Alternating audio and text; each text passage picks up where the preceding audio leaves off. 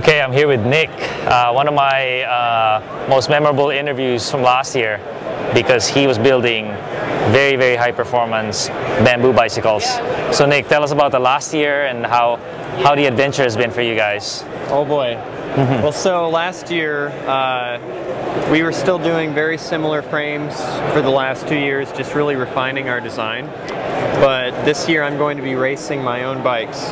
So I've left my professional team from the last two years. Mm -hmm. I'm going to be doing most of the same races, um, a lot of the national race calendar events, but I'm racing for Boo now. Got a few teammates.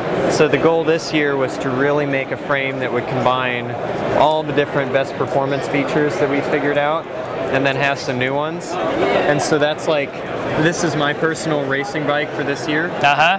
It's mostly built. I don't have some of the cables connected, but uh, my goal with it was to really show how you can combine bamboo and carbon fiber. Oh, wow, so yeah. Perfect synthesis, and just for the ultimate ultimate performance, but still preserve a really good ride quality. Mm-hmm. Uh, how did you select which one's going to be bamboo and which one's going to be uh, a carbon tube? Sure, sure. That's a good question. So the the goal was to always preserve ride quality.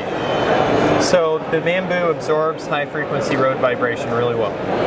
Carbon fiber, it absorbs vibration, but it's a lot stiffer. So that's its strength. The seat tube, we wanted to make this carbon because the bending stiffness laterally is actually the most important aspect of the seat tube.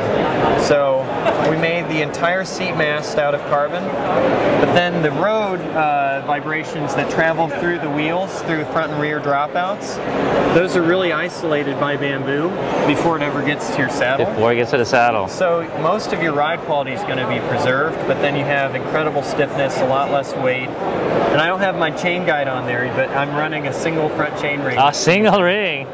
Carbon fiber Fibrelyte chain ring from England. Uh huh. 49 tooth, custom made. And then I'm running a, an MRP chain guide. Wow. So with a Di2 rear derailleur. With a Di2. And I'm using brake levers, not the actual Shimano shifters. Uh huh. And I've got custom buttons from Cat Eye that are going under the hoods. So it's going to look like a single speed up front. it is so clean, huh? That was my goal with this bike was to just really showcase all the coolest stuff that we can possibly do because I mean James Wolf was telling me James you know is my builder your partner? Uh-huh James is just experiments. He loves, you know, his his hell would be doing every every single bike the exact same. Right. So he just experiments with different designs, and one of our ideas was to use a full carbon seat tube and really kind of split the bike aesthetically. So you have the two natural materials held together by a, a man-made synthetic composite material. Right. And really integrate the two.